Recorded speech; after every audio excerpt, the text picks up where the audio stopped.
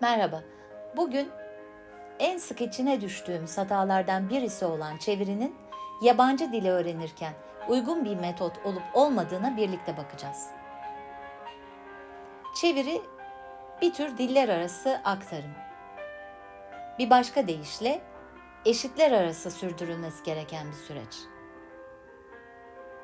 Bu konuyu somutlaştırabilmek için hepimizin aşina olduğu kümeler görselinden faydalanacağım. A kümesi yani büyük olan küme bizim ana dilimiz. B kümesi yani küçük küme ise yeni öğrenmeye başladığımız hedef dil olsun. Burada İngilizce.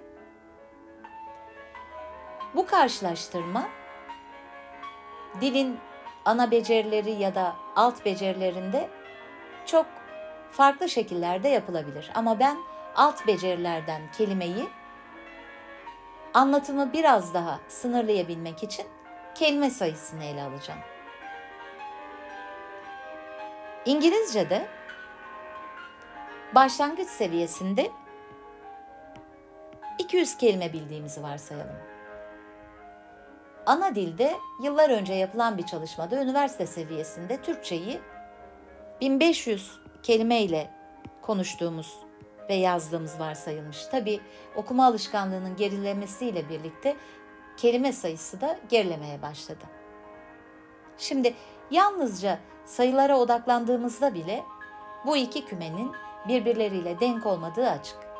Yani bizim neden tercüme yaparak sıklıkla aynı hatayı tekrarladığımızda net olarak görebiliriz.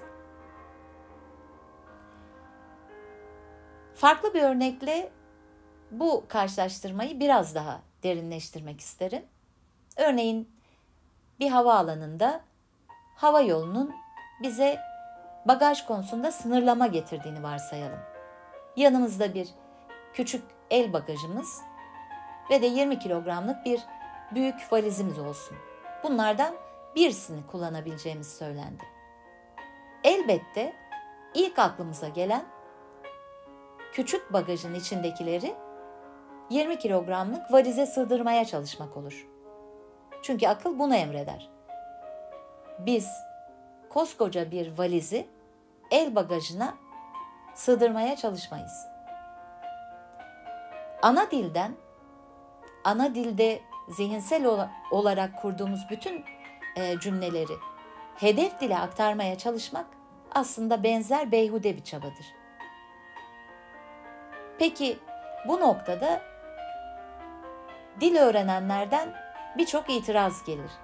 Biz düşündüğümüz, hayal ettiğimiz cümleleri hedef dilde hiç kuramayacak mıyız?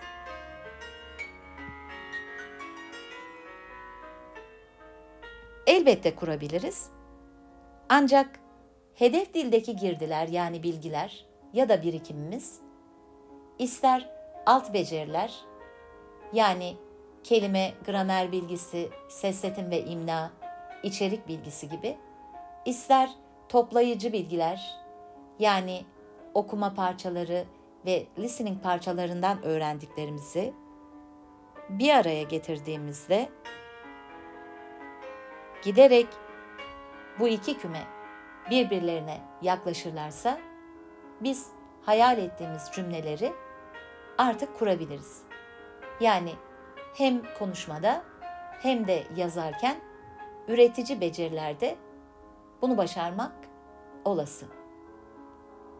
Hatta bazen İngilizceyi şakır şakır konuşuyor ya da Yunanca'da çok akıcı diye benzetmeler yaparız. Çünkü bu benzetmeler bir tür bu iki kümenin birbirlerine yaklaştığı anlamına gelir. Tercüme başlangıç seviyesinde bir yöntem değilse ki İngilizce'de grammar translation adıyla e, çeviriye dayalı bir yöntem vardır. Ancak biraz önce söylediğimiz gibi başlangıçta uygun değildir. Yerine nasıl bir yöntem koymalı? Heybemizde ne varsa yani henüz hedef dilde ne kadar doğru kelime grupları öğrenmişsek, gramer bilgisi edinmişsek, imna bilgisi imla bilgisine sahipsek bütün bunları birleştirerek sınırlı cümleler kurabiliriz. Yani yalnızca daha önce gördüğümüz, okuduğumuz ve doğruluğundan emin olduğumuz girdilerle konuşabilir ya da yazabiliriz. E bunun bizi sınırladığını çok iyi biliyoruz. O yüzden amacımız bu iki kümeyi birbirine yaklaştıracak yeni birikimler sağlamak.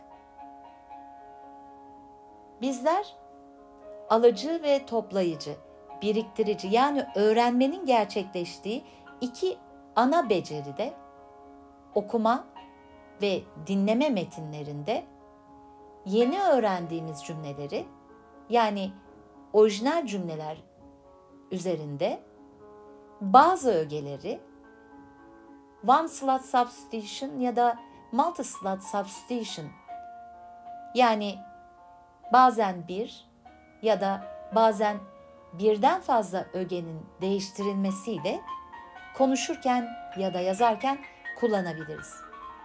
Bu yönteme kontrollü üretim diyoruz. Demek ki yabancı dile dil öğrenmeye yeni başladığımızda yapacağımız üretim kontrollü üretimdir. Genelde orijinal ve doğru cümleler üzerinde fakat bizim daha önceden öğrendiğimiz gramer bilgisi ya da kelime gruplarıyla küçük değişiklikler yaparak üretimler yapmak. Şimdi direkt tercümenin yani asenkron bir durumdayken direkt tercümenin bizi soktuğu durumlara birkaç örnek vereceğim. Örneğin adreslerde çeviriler yapmaya çalışmak. Adresin kültürel bir şey olduğunu hatırlamalıyız ve kullanıldıkları ülkede geçerli olduklarını, o sebeple cadde, bulvar, meydan, sokak gibi kelimelerin dışında tercüme edilemeyeceklerini bilmeliyiz. Menüler de aynı şekilde. Türkiye'de sıklıkla çok güldüğümüz, örneğin chicken translation gibi, tavuk döner, sıklıkla rastladığımız çeviriler yapılır. Oysa yemek isimleri kültürün bir parçasıdır ve çevrilmez. Yalnızca parantez içinde o yemeklerin içindeki malzemeler çevrilebilir. Ve yine en çarpıcı örneklerden birisi uzun yıllardır yüksek hızlı trenlerdeki anonslarda yaşanıyor. Orada da sözlüğe giderek büyük ihtimalle yapılmış direkt tercümeler var. Direkt tercümeler bizi her zaman başarısızlığa götürür ve komik hale düşürür. Bu videonun altında filmler, belgeseller, diziler ve benim örneklediğim yüksek hızlı trendeki anonslar gibi direkt ama yanlış tercümelerden örnekler verebilirsiniz.